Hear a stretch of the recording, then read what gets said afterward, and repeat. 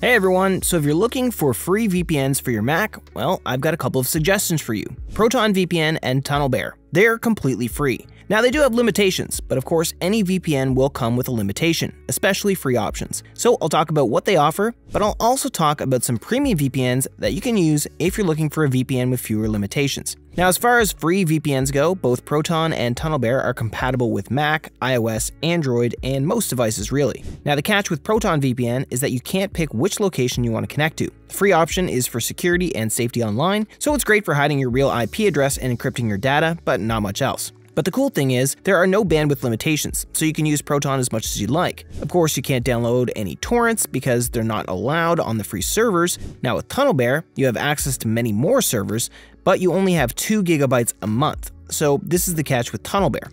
And with both of these VPNs, even though you can't torrent and you can't really use them for streaming, as far as securing your data, they still work very well. But if you're not really willing to put up with the compromises here and you'd like a premium VPN, then you'd probably be more interested in something like Express, Nord, or Surfshark.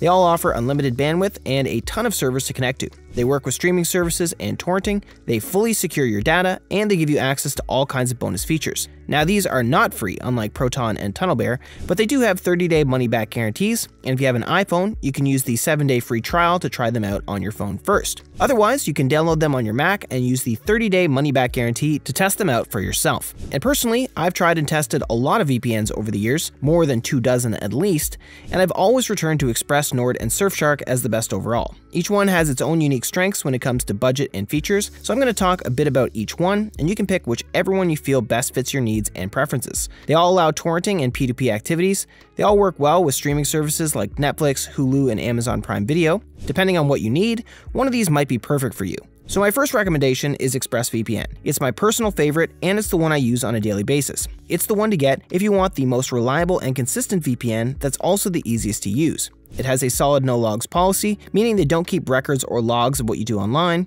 And with over 3,000 servers in 105 countries, you can access content from all around the world. You can also connect up to 8 devices at once, so if you're okay with spending a bit more for top-notch reliability, Express is a great choice. Next up is NordVPN, and it's going to offer the best value for your money. It has over 6,300 servers in 111 countries, and with the NordLynx protocol, Nord is actually the fastest VPN in the industry, and it also offers a lot of extra features like threat protection, which blocks ads and malware, and you can connect up to 10 devices. So if you like having more options and features, Nord is probably the best choice for you. Finally, Surfshark is the best budget option. It's not as fast as Express or Nord, but you can connect to a virtually unlimited number of devices with one account. It has over 3,200 servers in 100 countries and includes features like an ad blocker and specialty servers. If you want to spend less but still get all the essential VPN features, Surfshark is perfect, especially if you have a lot of devices to secure or a large family. So that's it as far as which VPNs I'd recommend. If you want a free VPN, you can't go wrong with either Proton VPN or TunnelBear.